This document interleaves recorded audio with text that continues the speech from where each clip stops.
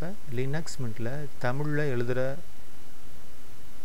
முறையை எப்படி நிறுவுறதுங்கிறத நம்ம கற்றுக்க போகிறோம் சரிங்களா? இதில் போயிட்டு ஐ பஸ்ன்னு அடிச்சிங்கன்னா இப்படி வரும். நான் ஏற்கனவே செஞ்சு வச்சுருக்கனால இங்கே தெரியுது.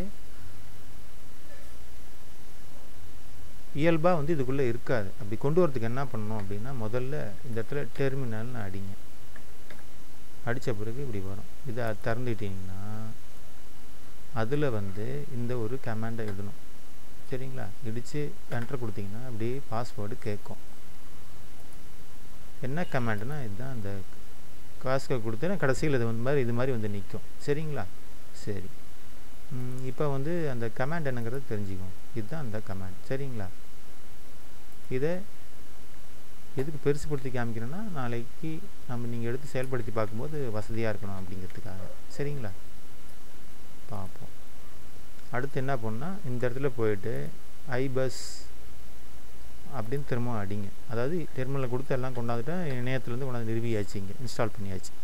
அப்போ இதை அழுத்துனீங்கன்னா அந்த இடத்துல வந்து உங்களுக்கு வந்து விசைப்பலகை மாதிரி ஒன்று வரும். இதை அழுத்துனீங்கன்னா அதில் ப்ரிஃபரன்ஸ்னு வரும். அதில் போயிட்டு அப்படியே விட்ருங்க எல்லாத்தையும். இந்த இடத்துல இன்புட் மட்டும் ஒரு டேப் இருக்குது பாருங்கள் தத்தல். இதை அழுத்துனீங்கன்னா இந்த இடத்துல ஒரு பெரிய பட்டியலே வரும்.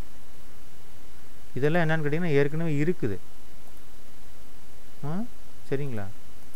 இப்படி தான் வெறுமையாக இருக்கும். நம்ம என்ன பண்ணோன்னா இதில் போயிட்டு தமிழ் கீழே வரும் போயிட்டு இந்த முறை தான் நான் அடுத்து நான் பயன்படுத்துவேன்.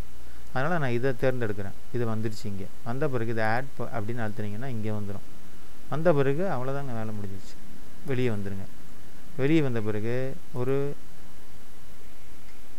எந்த இடத்துல எழுதணுமோ அந்த இடத்துல போயிட்டு கண்ட்ரோல் ஸ்பேஸ் நல்லா கவனிங்க. திரையில் பாருங்கள் இந்த இடத்துல பாருங்கள் என்ன விஷயம் நான் காமிக்கும்? கண்ட்ரோல் ஸ்பேஸ் சரிங்களா?